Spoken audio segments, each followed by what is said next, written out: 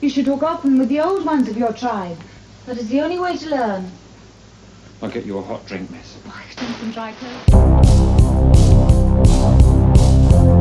clothes.